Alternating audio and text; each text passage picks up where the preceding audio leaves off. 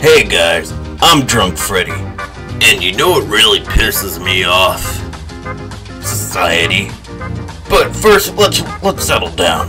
Let me get you a drink.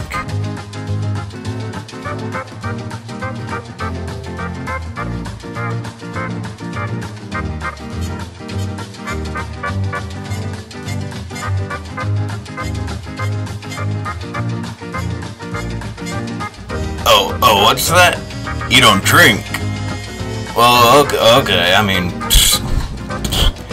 here, here, let me take a seat. There we go. So, anyways, society, it's shit, right? Especially in modern times. Corporations calling people bigot, everyone's attacking everything. I'm fucking tired of it. So mainly that's what I want to talk about here. And hopefully you'll agree. And if not, then maybe you can settle for something else, like or something, I don't know. So overall, here's to the road, boys.